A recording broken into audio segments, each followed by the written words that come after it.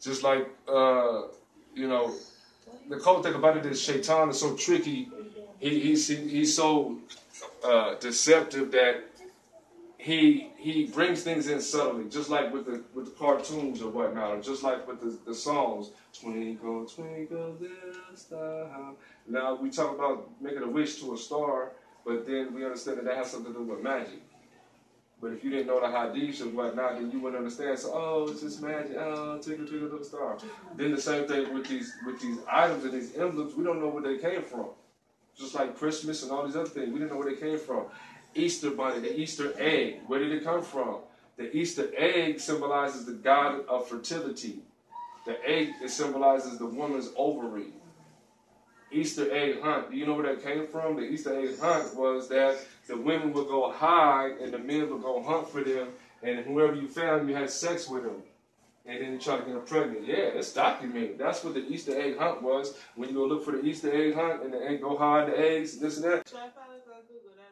This was a pagan, Roman, pagan ritual. And Easter, the god of fertility, it was a day of that they worshiped the god of fertility, and the women would go high, and the men would go run out, look for them, and whoever they found, they would have sex right then and there, and it would be a day of fertility. I told people that they would have orgies. It was orgies, like an orgy, yep. They did not listen. Yeah. Look it up. Just like just like these words, man. You know, you, you know, one of the things, like you know, what I'm saying, like I, I, I talk about the pen a lot because I learned a lot in the pen. One of the things that Malcolm X did when he went to the pen is that he studied the the the, the, um, the dictionary. You know, went through the, through the whole dictionary. Hey, aardvark, and he went all the way through, and that's how he gained his, you know, saying vocabulary. He was very good with words, okay, because he studied words. Going through the words and the dictionaries and whatnot, man, you find out a lot of the words that are used today have demonic uh, uh, uh, connotations. The word sprite, which is a soda. You know what the word sprite means? Does anybody know what the word sprite means? That that I that I didn't tell already. Does anybody know what the word sprite? Um, huh? Sprite means a demon, a devil, huh? a ifrit, a devil. But what I'm saying is, look at the word game. Look at the word games that they're saying sprite. It's a devil. It's a demonic devil, right? A devious devil.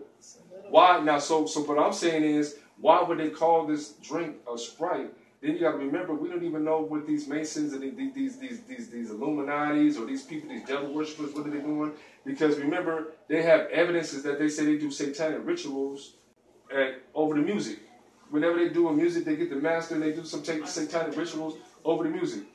Same thing with these with these uh, uh, foods and whatnot. We don't know what type of witches potions they're doing, so we're gonna call this Sprite. Okay, Sprite. Okay, the devil is. Why would you call something a devilish, mis- mischievous devil? So does that mean that there's something in here that makes me do something? Right? Just like just like we say, um, um, obey your thirst. Obey your thirst. What dirt? What is the thirst? The Sprite is your thirst, right? Obey your devil. But see, you start playing these, but you start breaking stuff down. It's like, oh man, now you're saying obey your devil, obey, obey your thirst. What's my thirst? My thirst is my sprite. My sprite is what? Devil. Let's go get a dictionary. I don't got one. I don't got no Webster's dictionary. But you guys got Google. Google up the word sprite. Look at the word sprite and see what you say. It shouldn't take that long. Because I did the dictionary thing when I went to the pen. I, I demanded sprite. Uh, you look up the word pixie.